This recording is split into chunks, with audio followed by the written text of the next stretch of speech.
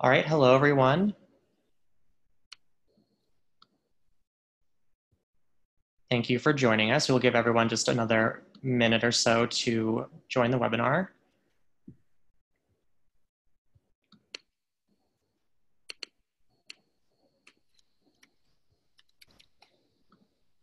We have about 17 attendees so far, great. Awesome. I will go ahead and get started just by introducing myself. My name is Cameron Kinker. I am a community engagement coordinator with Prevention Access Campaign. Um, just to introduce a little bit about Prevention Access Campaign, we are a health equity initiative working to end the dual epidemics of HIV and HIV related stigma by empowering people with and vulnerable to HIV with accurate and meaningful information about their social, sexual, and reproductive health uh, prevention access campaigns undetectable equals untransmittable or u equals u is a growing global community of hiv advocates activists researchers and over 780 community partners from nearly 100 countries uniting to clarify and disseminate the revolutionary but largely unknown fact that people living with hiv on effective treatment do not sexually transmit hiv U equals U was launched um, in early 2016 by a group of people who were living with HIV who created a groundbreaking consensus statement with global experts to clear up confusion about the science of U equals U. That statement was the genesis of the U equals U movement that is changing the definition of what it means to live with HIV. The movement is sharing the message uh, to dismantle HIV stigma, improve the lives of people living with HIV, and bring us closer to ending the epidemic. Today, we're going to be having a wonderful webinar um, with Naina Khanna, who is the executive director of the Positive Women's Network, as well as Daniel Driffin, uh, who is the co-founder of Thrive SS. Uh, this webinar is kind of a reiteration of their fantastic presentation that they did at the United States Conference on AIDS back in September. Um, it's titled The Third U, uh, Universal Access. So with that, I will kick it over to Naina and Daniel. Great. Thanks so much, Cameron. Welcome, everyone. This is Naina Khanna. I'm Executive Director of Positive Women's Network USA um, and joined by Daniel. I'll give Daniel a minute to introduce himself.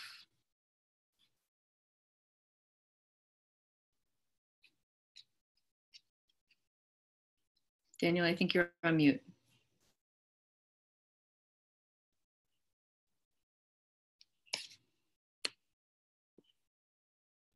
Okay, maybe we have some sound issues. Um, so Daniel, just chat me when you're connected back to, to the sound. Um, so Positive Women's Network, for those who don't know, is a national membership body of women living with HIV, inclusive of folks of trans experience.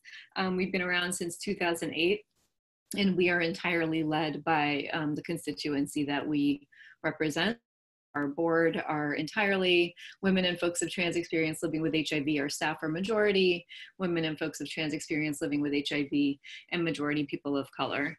Um, and so what we're gonna be talking to you all about today is, um, as Cameron said, you know, kind of how do we advance racial and gender justice in the U equals U response? And so Here's a little bit of an overview of what we're going to be covering. So, um, you know, just a refresher and reminder. I know uh, everyone on this call is very familiar with what U equals U means, but we'll just kind of like go over it briefly. Um, and then we're going to talk about how U equals U has really been a driver of policy and funding priorities. So the science has actually been um, an important drive of priorities. Um, but, you know, kind of thirdly, what, what has this really meant in practice and in life for the communities most impacted by HIV? And particularly when we think about race, gender, sexual um, and a lot of those durations. And then we want to, you know, go into next steps and um, what can we do about this? And so um, and we also want to hear from you kind of throughout this um, throughout this webinar. So we'll be trying to watch the chat box. Um, yes okay cool. Um, daniel is back. Um, so we'll be trying to watch the chat box throughout the webinar. Um, we'll be asking you all some questions to respond to, and we'll be wanting to hear your insights and input. I'm going to give Daniel a minute to introduce himself and Thrive SS and anything else he wants to say before we get started.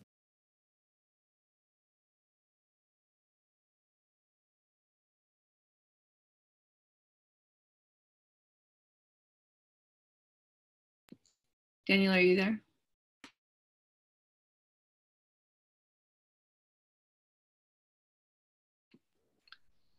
Hey, Daniel. We're not able to hear you. Okay, um, I'll just keep going and then um, Daniel, just jump in when you get back on the mic. Um, so first of all, just a refresher on what U equals U means.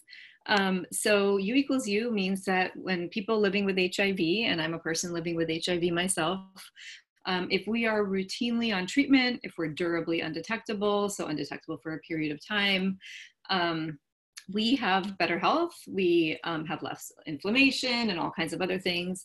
And hey, um, no transmission of HIV actually happens. And so there's lots of science that backs this up. I'm not really going to go into the details of the science, but the um, evidence is very strong that when a person living with HIV is undetectable, um, HIV itself is not transmittable, is untransmittable. And so that's what U equals U means.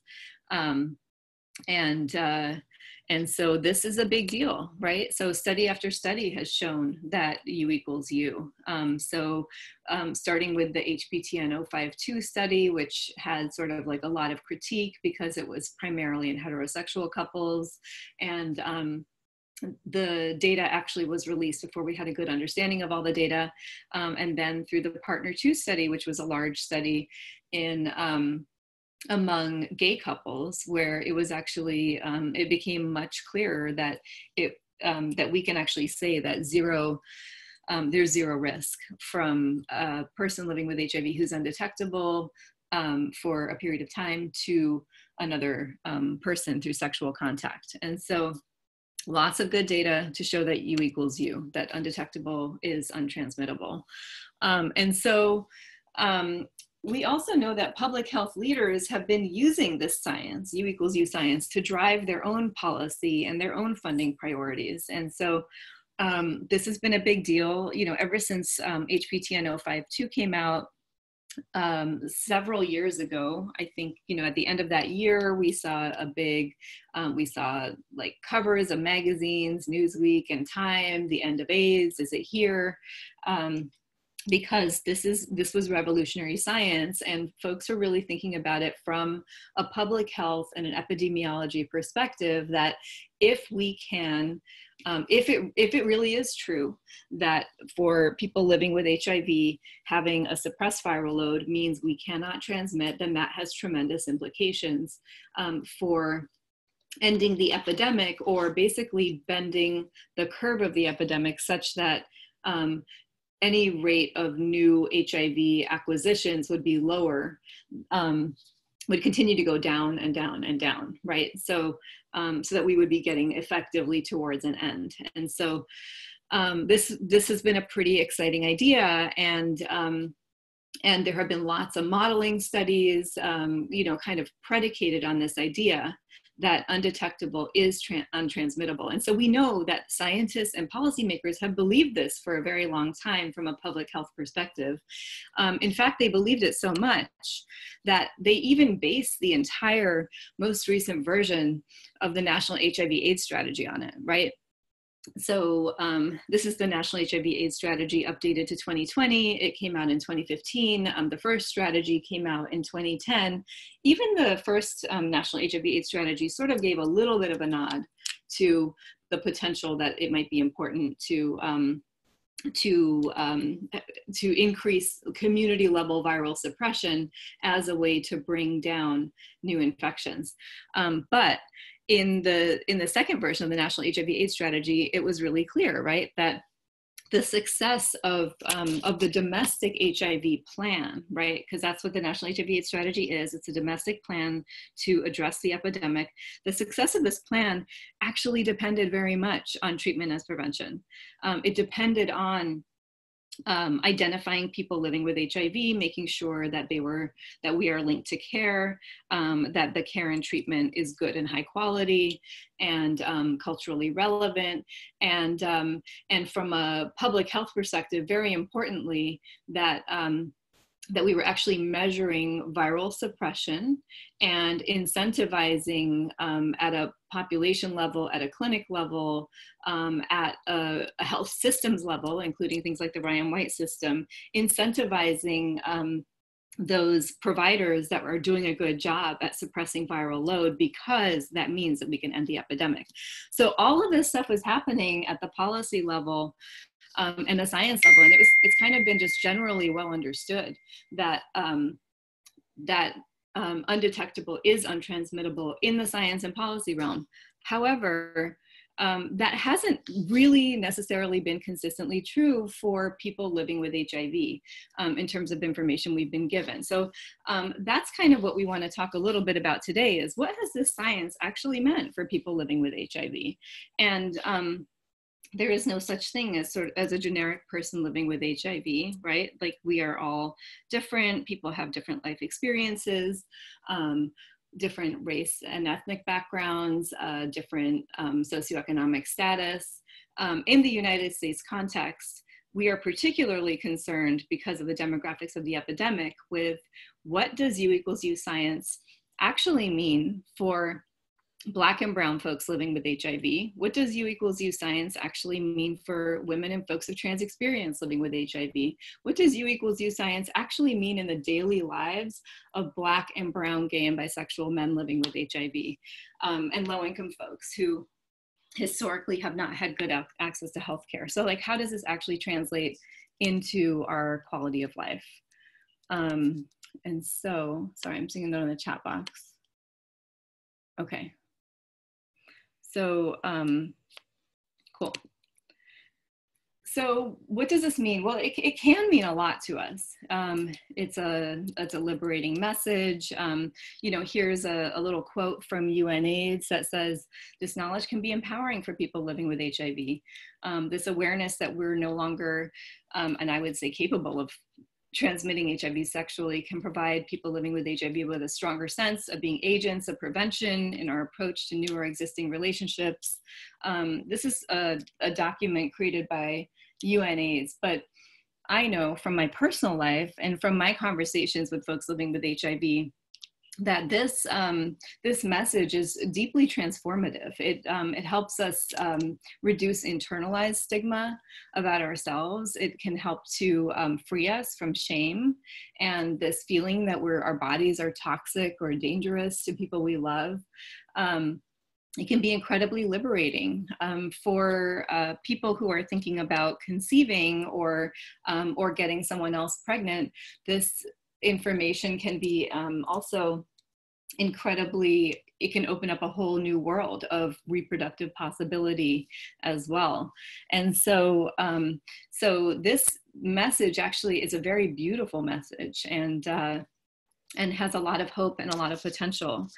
Um, but sadly we haven't always seen this you know the u equals u message kind of be equally accessible or equitably accessible to um, different communities for a range of reasons. And we'd love to hear a bit about um, about um, some of you know what that has been for you. So I'm going to go to the next slide. Um, so in even even though even though the U.S. National HIV/AIDS strategy was based on um, on U equals U science, on treatment as prevention science, um, even though there's been all of this momentum at the national and federal level by federal agencies, we still had many federal agencies who were um, not really saying this openly. Like so, this this is something I wrote about actually for the last World AIDS Day. You know, basically we were being the bodies of people living with HIV were being mathematically modeled as benign, but we were simultaneously being told still that we were risky and radioactive and dangerous by the federal agencies that were supposed to be um, responsible for public health. And so the Centers for Disease Control and Prevention didn't openly say that um, people with HIV who are undetectable cannot transmit HIV until about a year ago, October of 2017, if you look at the date on this. Um, this news release here. And so this is sort of like a, a schism in the way public health was happening and the way, um, and the sort of contrasting way that human rights for people living with HIV has been advancing. And um, why is that? I would argue, and I think Daniel would as well, that this is very much because of who's most impacted by HIV in the United States um, it, and, and globally. And so um, this is very much a consequence of homophobia and racism and transphobia and um, a historical, um, long-standing need to control uh, the bodies, reproduction, sexuality of women. Um, and so these, you know, these things are all kind of linked together. Um, let me just see if Daniel is back.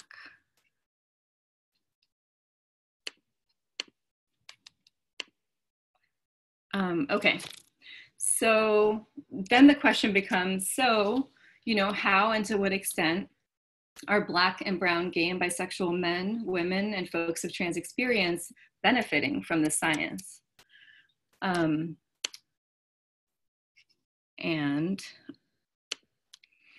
and so PWN has found that um, we've been we've been kind of looking at this ever since the 052 data came out, and we found um, we've kind of like continually found that women living with HIV are not benefiting as much as we could be. So back in um, 2013, we actually did a national survey um, and a, a, whole sort of like study and assessment of what we called um, sexuality, romance, and reproductive freedom for women living with HIV in the United States.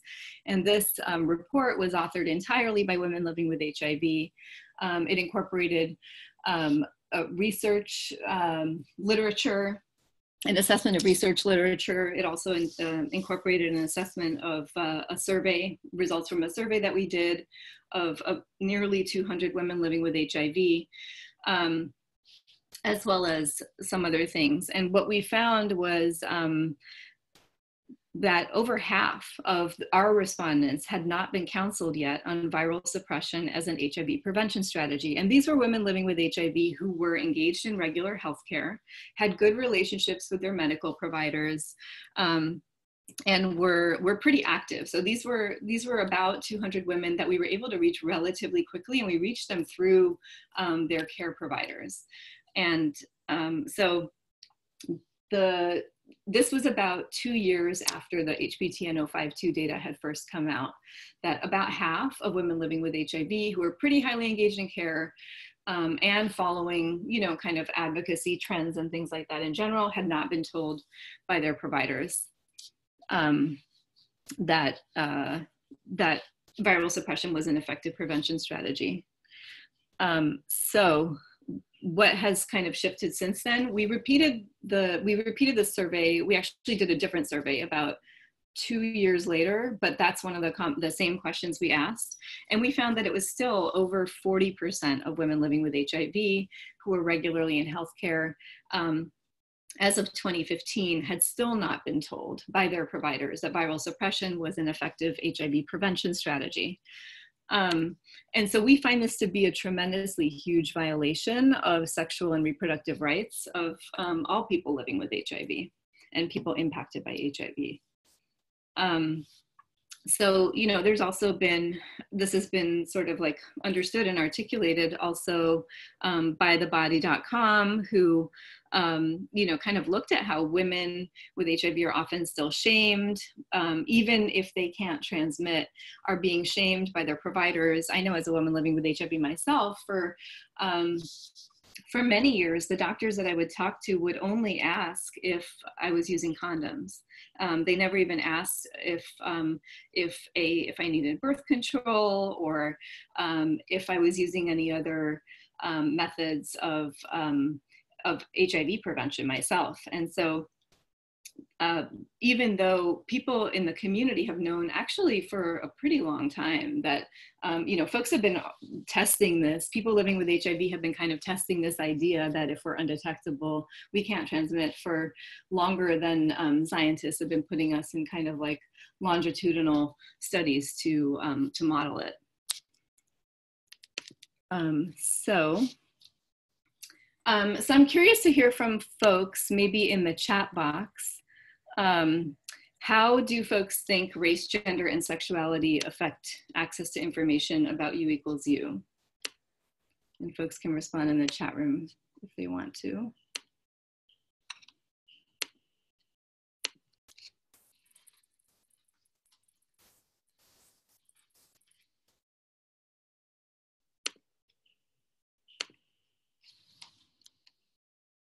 Okay, I'll keep going. Um, sorry. Okay, I see some responses coming in. The stigma is still so thick. People of color are probably less likely to be told about U equals U. Um, someone saying that it takes fear out of sex. Yes. Yep. Yep. These are all great responses. Anything else?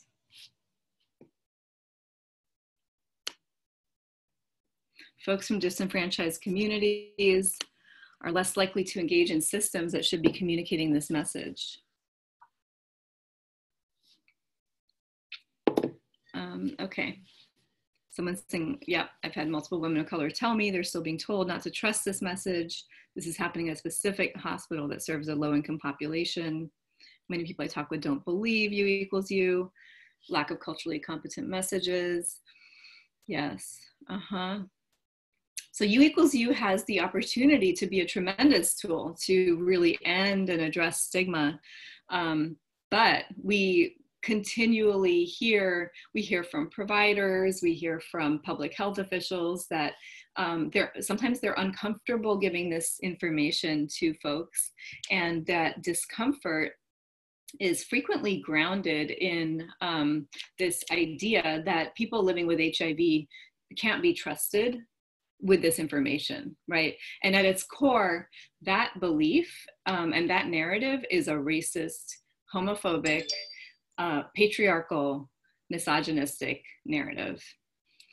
Um, so I'm seeing some, yeah, a provider once responded that we don't know who y'all are having sex with. Um, some health professionals don't know about it or may not be as comfortable with the information. Providers are selective in who they tell. Um, and then I'm also seeing that um, somebody also commented that there's a, in in one state, in Connecticut, um, there's a resistance among major stakeholders leaning towards PrEP in, instead of these getting to, um, instead of U equals U in the getting to zero conversations. U equals U has been a hard sell. Quote, consumers don't understand what undetectable means. Um, yeah, these are really, um, these are really very um, problematic narratives about um, that you know that deny people agency um, and that kind of refuse to acknowledge that people living with hiv have um, historically been and continue to be really well informed actually about what's going on with our health. Um, and these are like at their core these are like racist um, really racist class narratives about um, medical information which should be our human right scientific information that should be our human right um, okay, great. So things from, um, you know, different different kinds of uh, of experiences from providers not having the accurate information or not being comfortable with the science um, to uh, providers having assumptions and um, public health officials having assumptions. So thank you. Um, so I'll keep going. So we see that these, these kinds of dynamics actually play out in all kinds of healthcare settings. This is not unique to HIV. Um, HIV just happens to be a very, you know, egregious example. Uh, many people in the sort of general public are very uncomfortable with the idea that um, people living with HIV have sex at all, right? Let alone that we actually could be having sex um, without condoms and compl- and for pleasure and um, not just for procreation and uh, and also that um, that we have the right to enjoy our sex lives and to feel liberated and free around our sex. And um, so this um, this photo up here is of Serena Williams, who um, you may have heard went through a really terrible experience with her own uh, childbirth and aftercare as a mother. And we see this dynamic come up repeatedly with Black mothers um, who have much, you know, worse rates of maternal mortality, um, worse outcomes from um, childbirth and procedures that should be really sort of like routine and helpful. And much of it is about um, providers, healthcare providers, sometimes having racist assumptions about what Black women are telling them. Um, so these dynamics that are playing out in terms of access to information about U equals U science are not that different if you really boil down to it. Um, you know, Serena Williams said, I'm, I'm feeling, you know, I'm feeling these things, this doesn't feel right, something is going on. And her, um, her doctors at first didn't really trust her to be telling the truth. And so they didn't kind of address it immediately. And she had um, she had some complications after childbirth due to that um, but also we know that if we look at the prep data and there's been a lot more kind of investment in um, if you look at the literature, there's a lot more data around attitudes about PrEP than there is about attitudes on um, U equals U or treatment as prevention science. And there's a reason for that. You know, there's lots of um, sort of money um, that goes towards um, focused conversation. So our there's a lot of motivation there. Um, but it also, but in, in addition to the money, I think it kind of reflects um, who we're really concerned about as a society.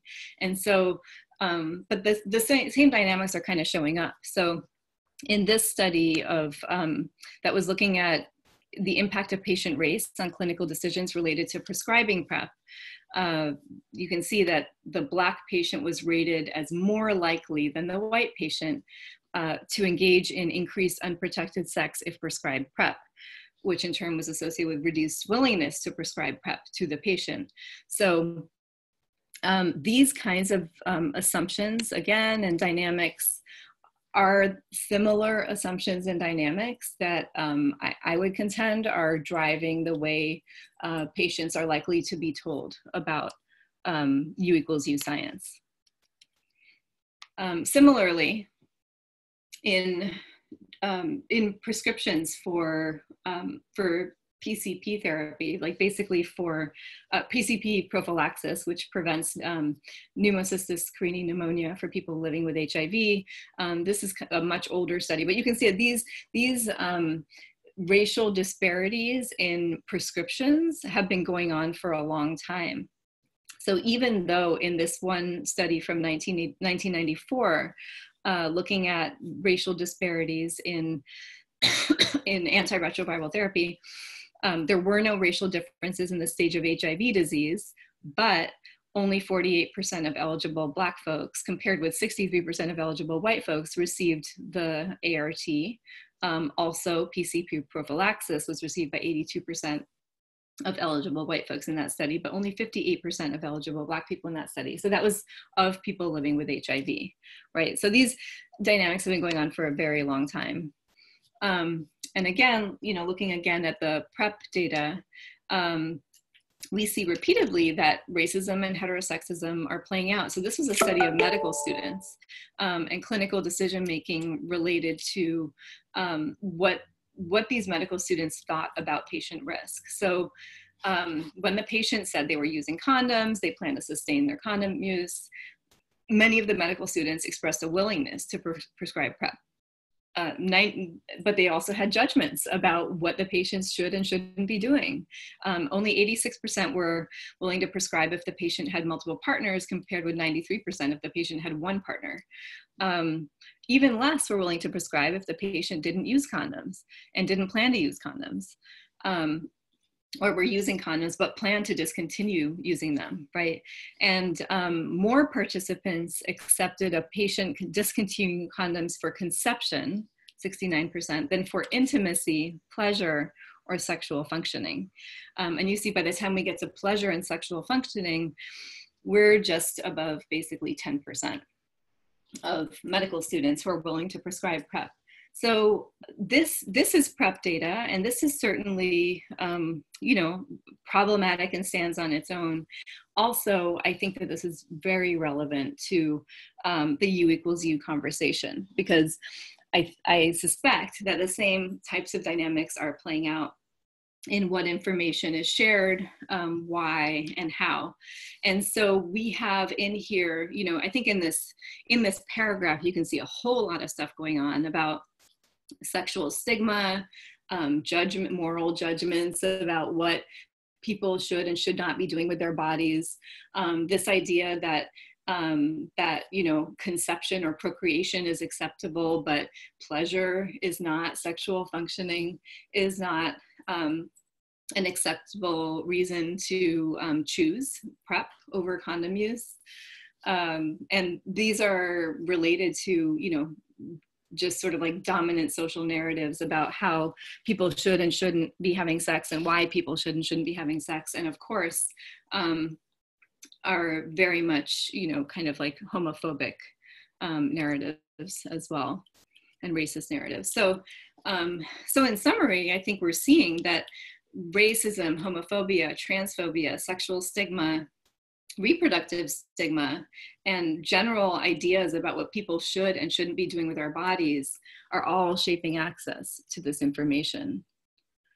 Um, however, we know that um, information about U equals U is a human right for people living with HIV.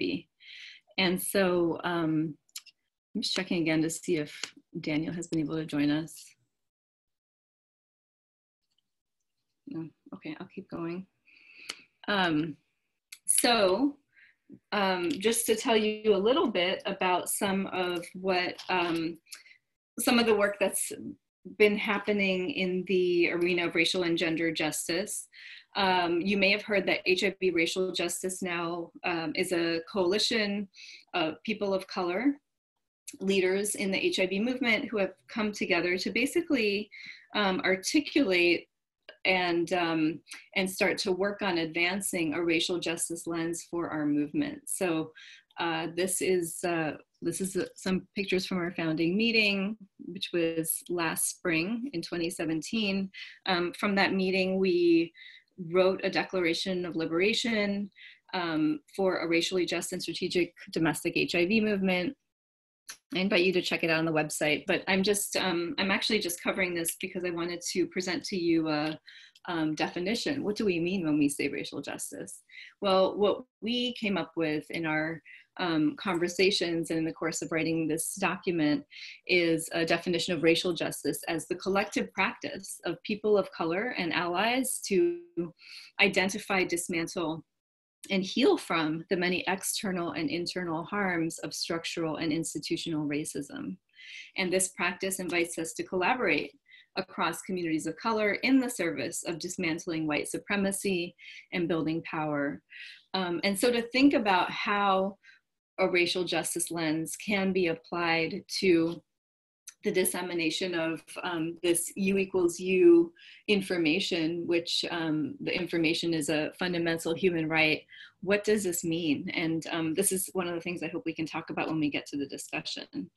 Um, is like, what does this mean? What does it mean for um, providers who are um, people of color? What does it mean for the way we shape our service delivery response? Like, who should be providing which, which kinds of services, who should really be constructing our um, narratives, what does cultural relevance actually mean?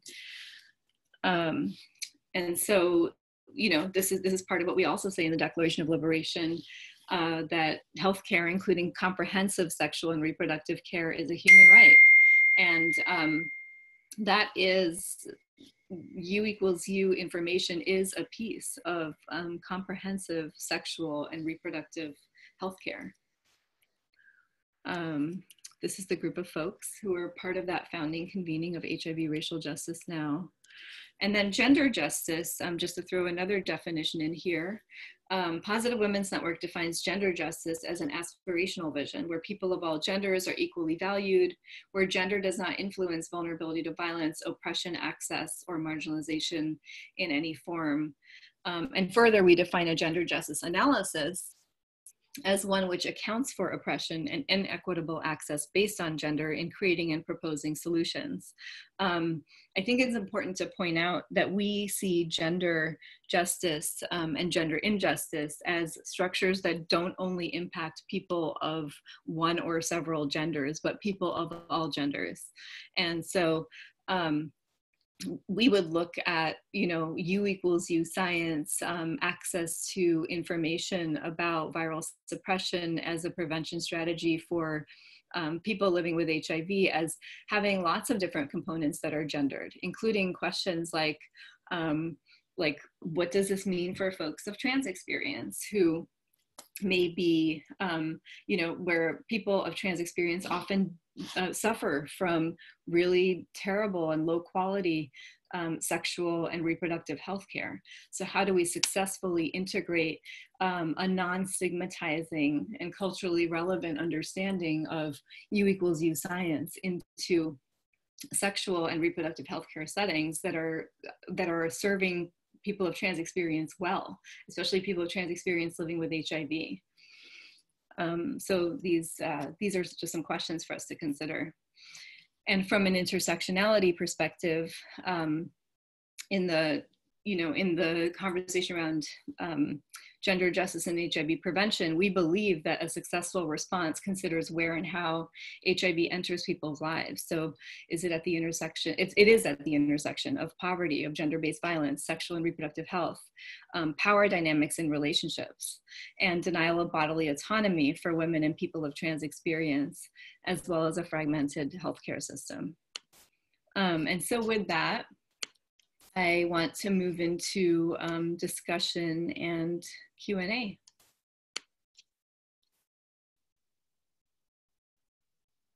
Oh, looks like we have Daniel back. Um, so Daniel, I'm gonna go ahead and turn this next section over to you if you wanna add anything before we move into our discussion and Q&A.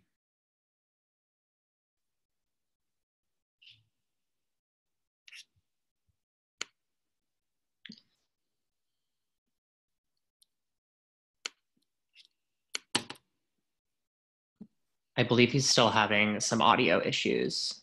Okay, got it. So um, I think if folks have any um, questions or comments, you can either put them in the box or is there a way for folks to unmute themselves also? Or no, or to raise their hands? Yeah, if anyone is interested in, in speaking, you can write in the chat box to allow you to talk, and I can, uh, as the host, uh, allow people to speak.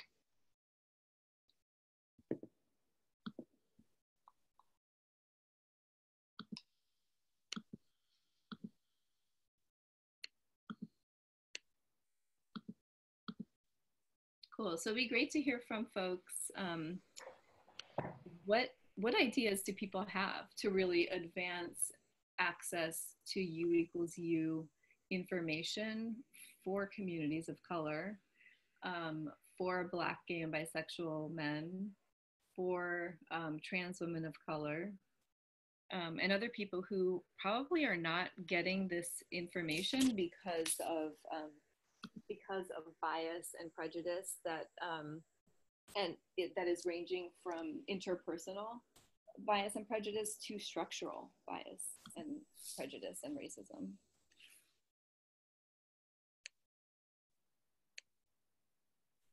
Um, may I?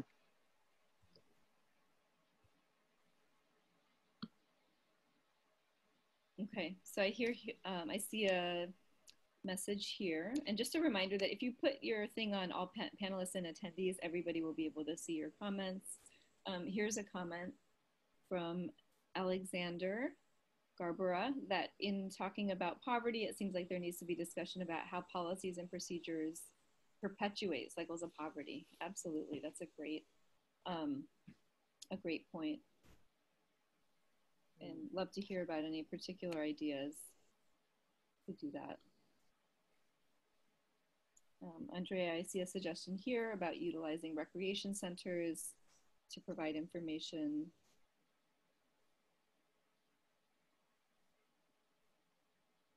Mm-hmm. Great. Brian, I see um, a question from you. Is it okay, can we just unmute you to ask this maybe, or to raise the question? It's kind of long to read. Oh, okay. maybe I'm gonna copy and paste it if that's okay so that everybody can see it because you just sent it to the panelists.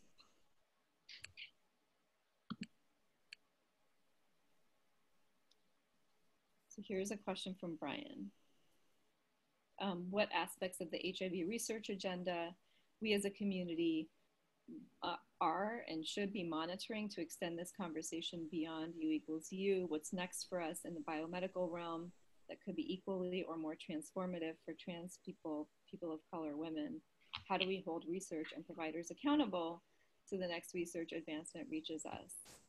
These are great questions.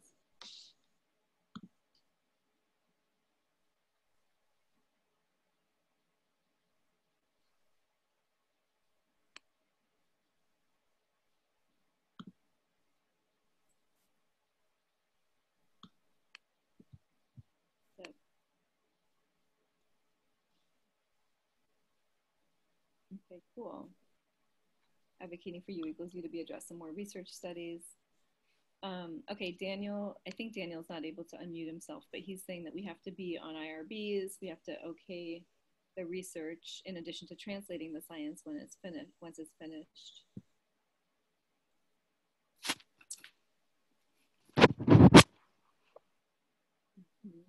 And I have unmuted a number of people. So Marcelo, Alexander, Andrea, Brian, and Kimberly, I've all allowed you to, to speak if you are uh, want to elaborate on your questions at all. Great, that would be helpful. Thanks. Um, I, this is Marcelo from ACT UP. Um, I, I'm very happy to see the promotion of PrEP around online, on subways and everywhere. I wish that they would do the same thing for U equals U. Um, one thing is that you need to medicate a million people to end the epidemic, a million people who are negative on PrEP to end the epidemic, opposite to 600,000 who are still um, not undetectable, but can be much easily treated and found and tested so, you know, it's just a question of numbers, you know, 600,000 versus a million people. Mm-hmm. Yeah, I, that's a, um, that's such a great point. I mean, we have uh, hundreds of thousands of people who could benefit personally, directly from having access to quality care and treatment, including um, being able to maintain an undetectable, maintain an undetectable viral load, right? Yet all of this energy um, and resources are going towards um, folks who um, don't have HIV in many cases. So why do you why do you think that is, or do you have any thoughts about how to address that?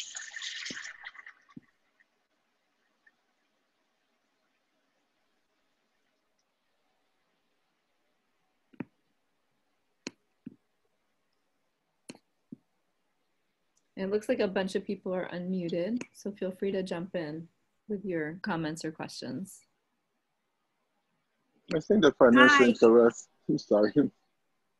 This is Andrea in Philadelphia. Um, the reason why I had mentioned uh, places like the recreational, recreational centers and different venues in that state, and especially within the city of Philadelphia, is that a lot of our LGBTQ, you know, trans, they do frequent some of the rec centers and one of the, uh, one of the things in speaking with uh, some of the rec centers, they're wanting to see how they be, they can become more diverse in serving all of their communities as what rec centers are supposed to do. So I feel as though if we give them a, a, a space that's that's you know that's safe and that's comfortable for them, you know we can uh, disseminate the information of U equals U and give them the information needed to help you know uh, with the U, U equals U equals U and other um, in other materials, rather as regards to housing and different things of that nature. Some place where they can come, you know, and gather and not feel isolated and that they have to stay at certain centers to be, you know, heard or in or you know to be accepted, but to uh, to you know now invite them like within the communities. And I hate to say dumb like that, it's dumb in us, but you know to have to have them in their communities where they live and where they eat, sleep, and a lot work, um, to just you know feel a part of the community. And you know, it's one step at a time. But community centers, I find that are now wanting to do that, um, in this, especially in our city of Philadelphia. Mm-hmm. Yeah, that's great. Really moving beyond sort of like clinical settings and traditional settings to understand that we're talking about community health, community wellness, exactly. Mm-hmm. Great. Um, someone else about to say something?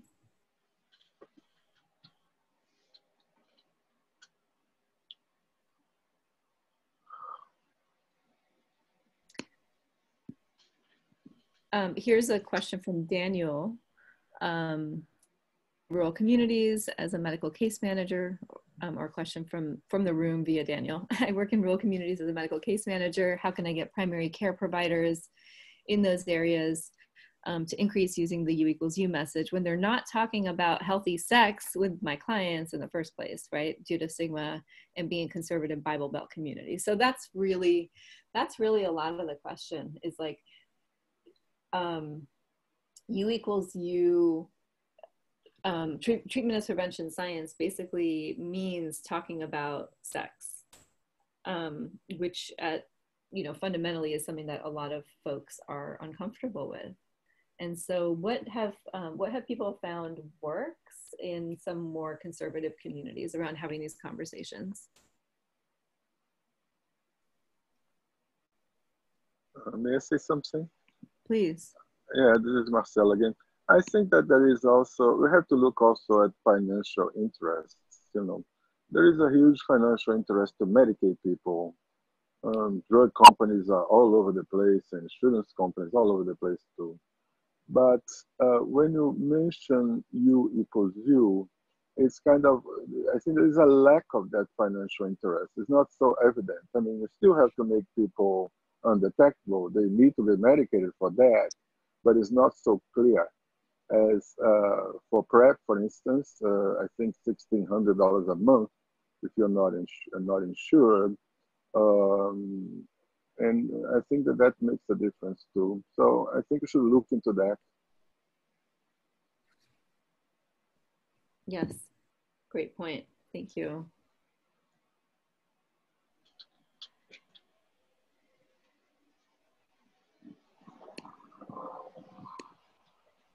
Naina, could you repeat the question one more time? I apologize.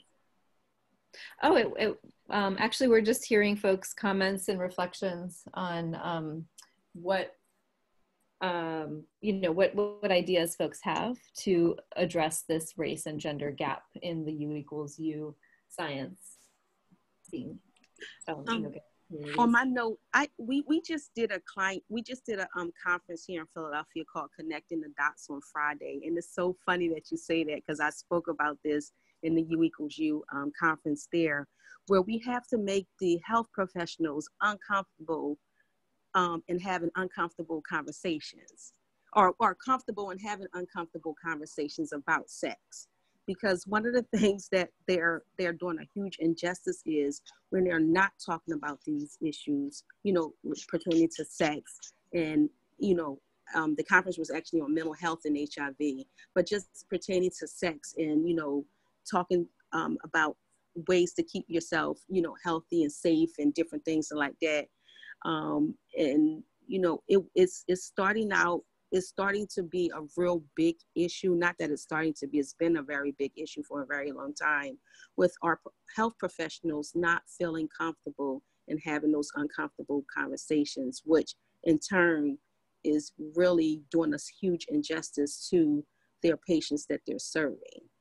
Um, so that's that's something that I would love to try take and try to uh, see what we can do more of in regards to helping them the health professionals I'm uh, talking about to have those, un- you know, having those uncomfortable conversations that, you know, that serves to prove to help their, you know, their patients and the community as well. Yeah, we like fun. We have to get more comfortable just talking about sex, right? Yes because we're doing it, so we need to be real comfortable with talking about it.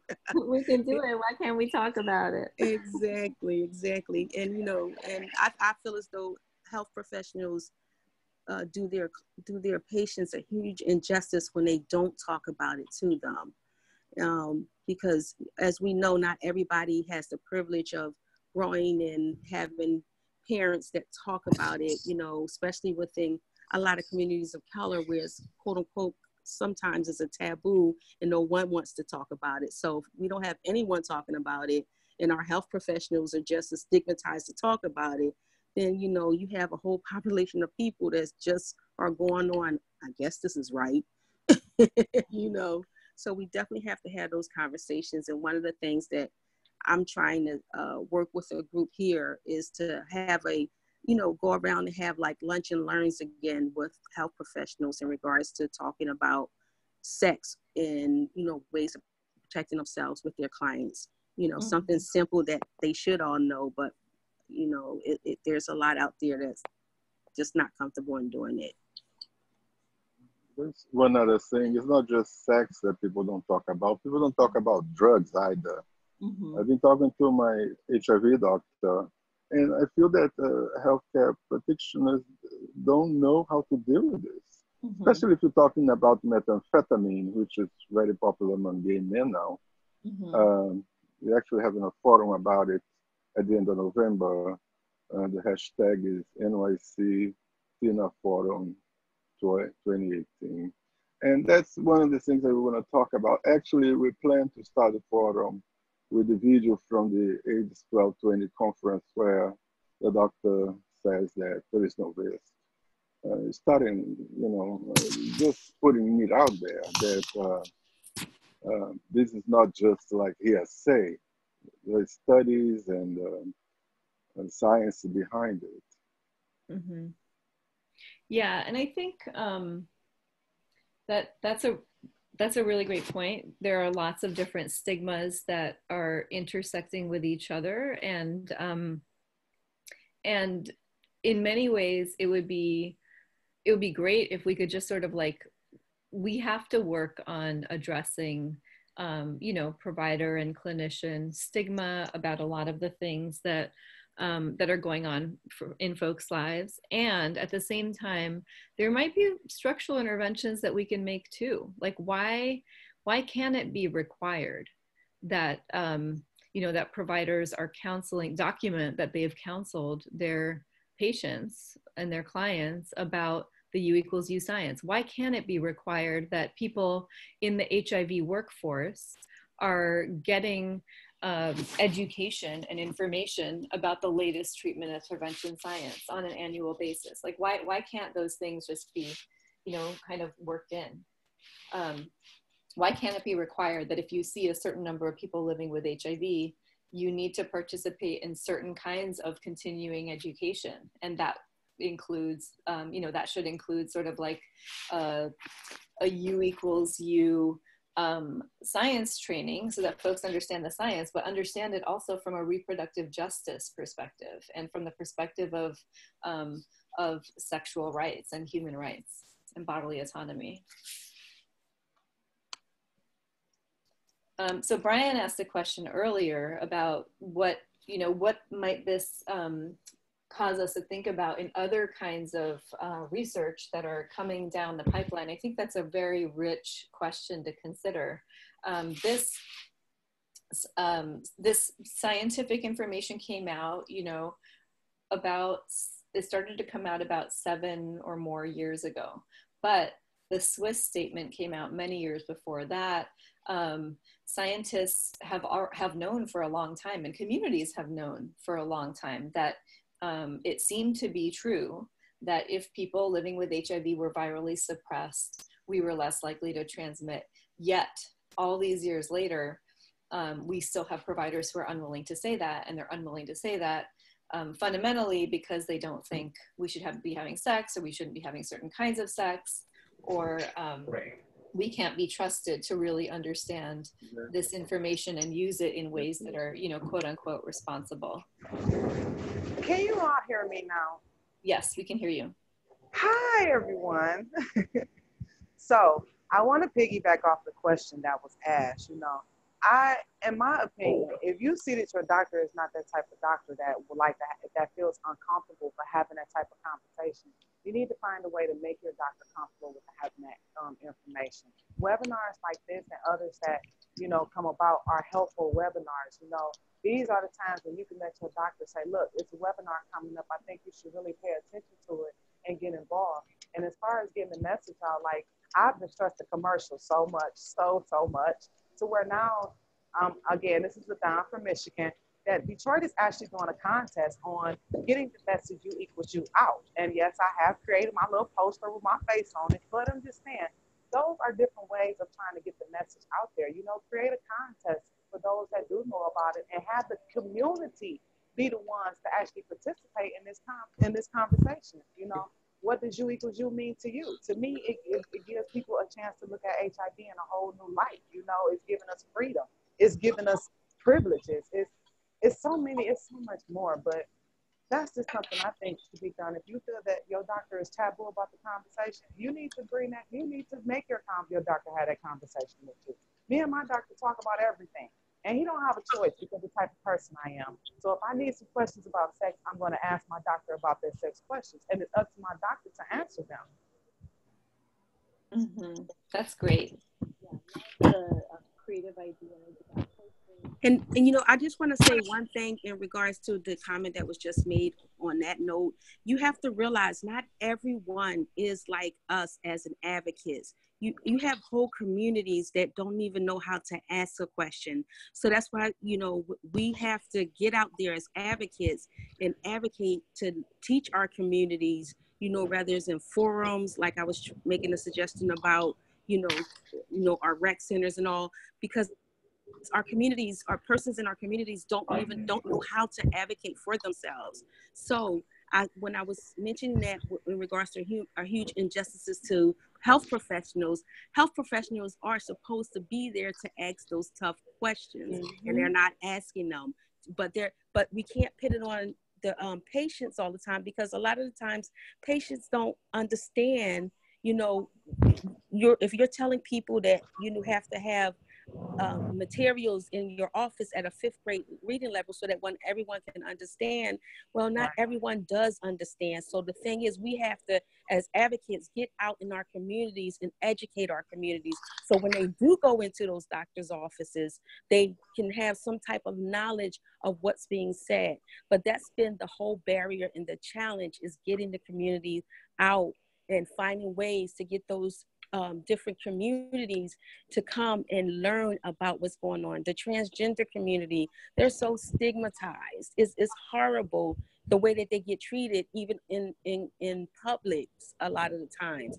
So they're scared to ask the questions. So we need to have our health professionals asking them those questions and being comfortable in asking those questions, whether it has to do with sex, whether it has to do with drugs or anything. And again, I said our health professionals that are not asking questions are doing huge injustices justices to our communities because our communities you know they're they're everyone's in layman terms in our communities you can't they don't understand a lot of them don't understand when they go to doctor's office and they're telling you that you're hypoglycemic like glycerize or up you know they want to hear that okay you got a blood pressure problem and we need to give you some pills and how to take these pills these are the ways that we have to you know have professionals approach our communities. Um, so I'm just a little biased on that one, and I apologize. But I know being an advocate, we speak up for ourselves. We now have to find ways to teach our communities more how to do that as well.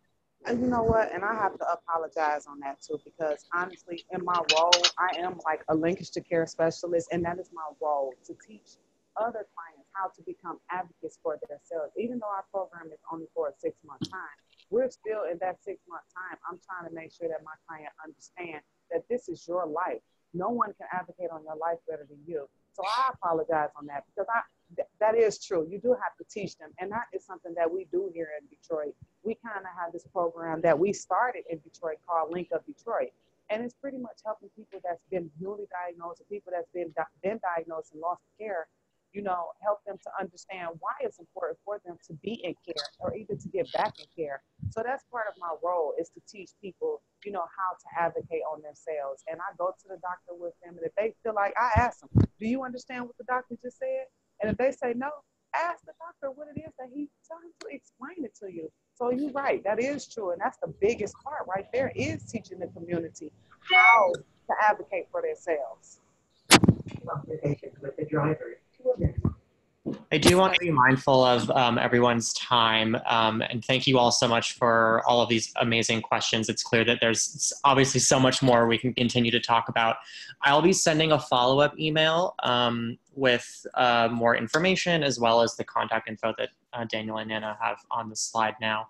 Um, but from on behalf of Prevention Access Campaign, thank you all so much for attending. And uh, Naina, I don't know if you wanted to say anything as well to, to close out the webinar. Yeah, thanks so much. Um, thanks to Cameron and Prevention Access Campaign for pulling this together. Um, thank you all so much for joining.